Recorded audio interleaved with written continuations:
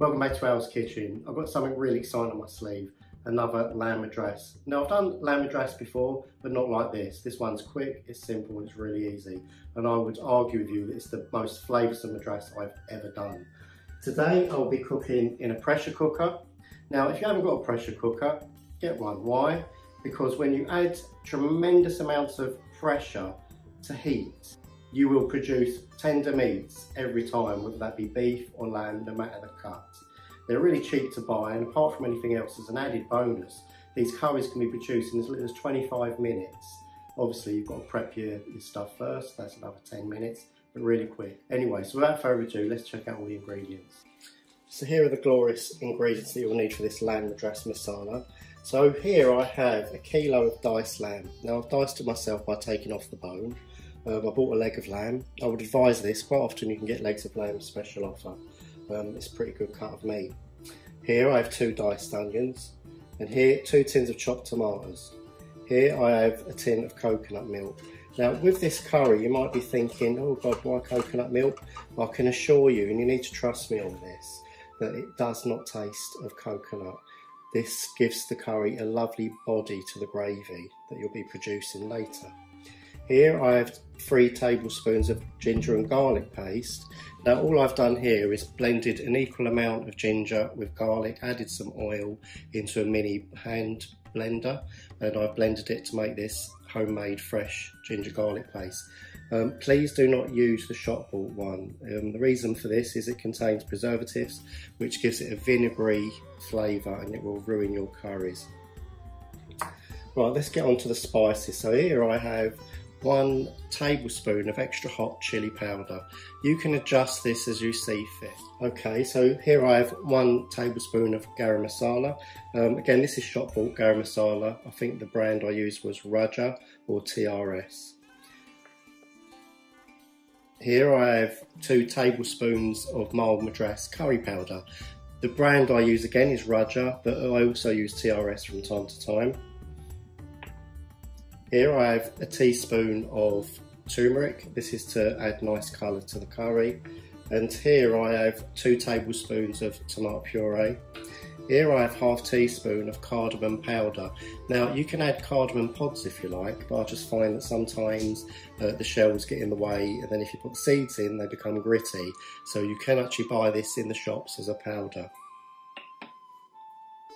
Here I have two teaspoons of salt, but at the end of the curry when you add this, I want you to add the salt to taste. Uh, just keep adding a little at a time until you produce a lovely flavour. Uh, when you add salt to any tomato-based dish, which a madras is, you will really bring out the flavours of the tomatoes and take away the rawness. And here I have two teaspoons of sugar.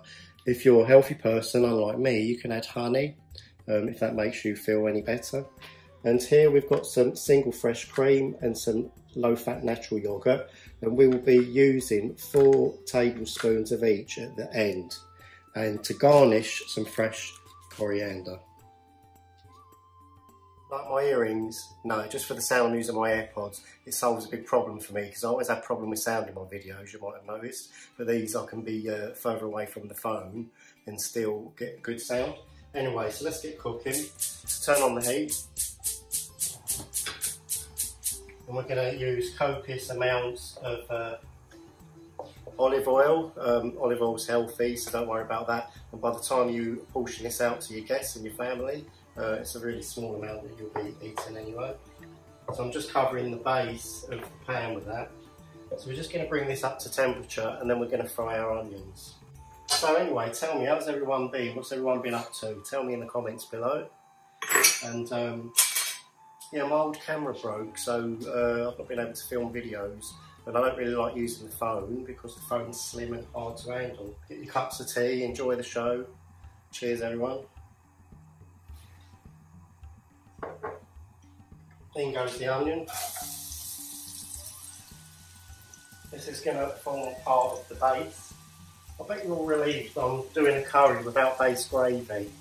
Base gravy is lovely and BIR is lovely, but God, it's a pain making huge amounts of that all the time. So we're just going to soften these down for a little while.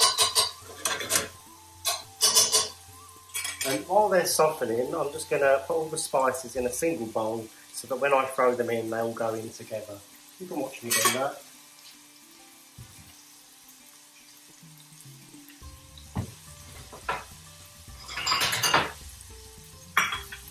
So there's my bowl.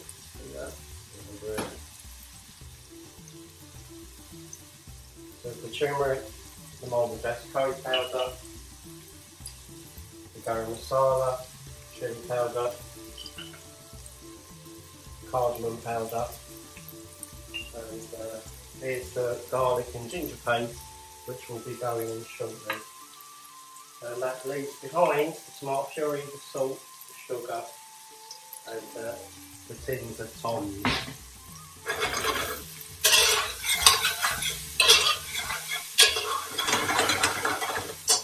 That's the onion softened a little. Remember, these can be absolutely pulverised once the pressure cooker gets going. So now I'm going to add the garlic and ginger paste.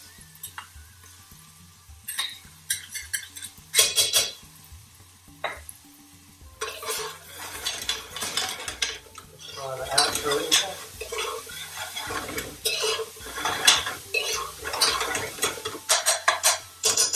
I'm actually really surprised considering um, I've been away for a little while how my uh, subscribers have been increasing and increasing. So thanks everybody that follows the channel, loves the channel and supports it. Um, also, you love the content. I'm really happy about that. Um, I'm hoping to produce more now. So if you like what you see and you want to see more, just give the video a thumbs up, subscribe, tell your friends and leave a comment. So now the garlic and ginger paste has uh, mellowed out a little. Now I'm going to add Now I'm going to add spices. I'll turn the heat down at this point, we don't want to burn the spices or it's game over. So there's all the spices.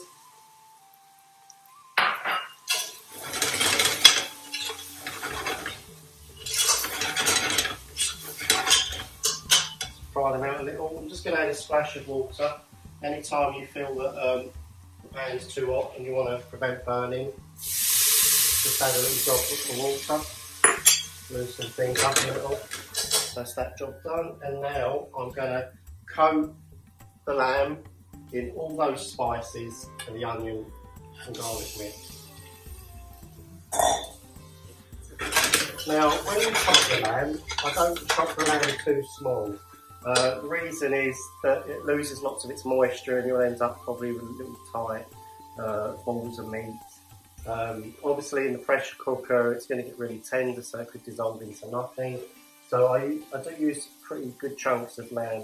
You don't really have to brown the lamb either to be honest because it's going to be cooked in the pressure cooker. What I'm just doing now is coating it in with spices. Add the two tins of tomatoes.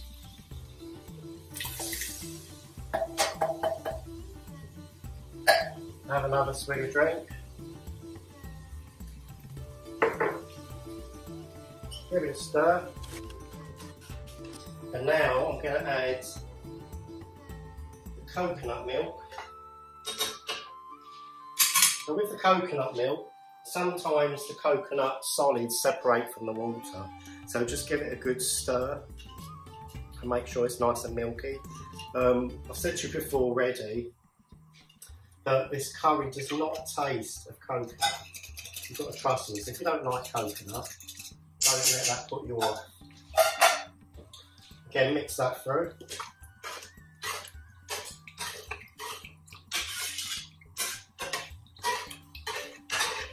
It looks pretty pale in colour at the moment, um, but once it cooks, it does produce a lovely deep, rich red colour.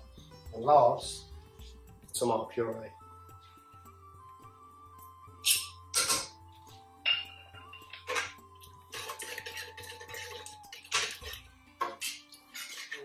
Done. Seal it.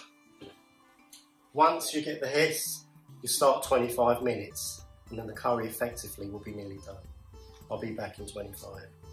Okay, so once it's safe to open the pot, I'm going to open it. Um, I just wanted to mention, I don't think I mentioned, that once it uh, reaches steam point, you turn the gas down to around halfway or just less. Keeps the steam coming out, but doesn't boil dry or burn at the bottom. Anyway, so let's uh, take the lid off. And there we go, a lovely madras. I'm gonna, I'm gonna try and show you close up. Okay, so once you've taken the lid off, we want to turn it back on the heat again. This is just finishing off. What we're gonna do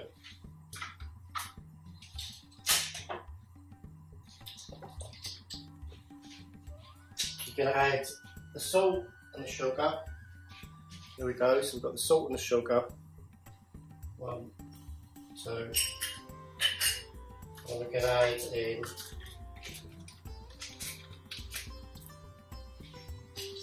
four tablespoons of single cream. One, two, three, four.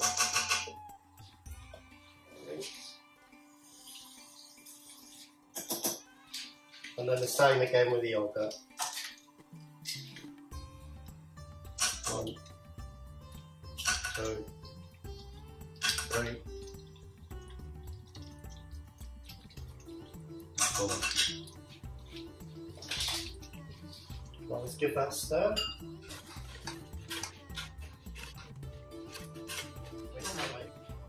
I can't wait for you to try this one.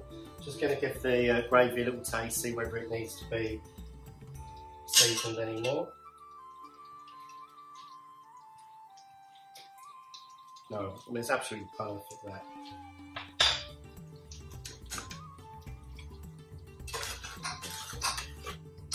So we're just going to bring that to the bubble and then basically it's ready to serve. See the gorgeous sauce, how, how succulent this meat is how rich that gravy is. Now I think if you're a madras lover, you can't afford not to make this curry. Lovely tender morsels of meat.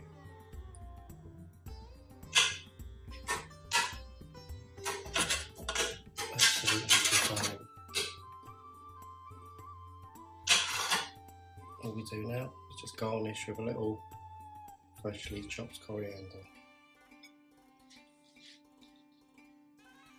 Lamb madras masala. Time for the taste test.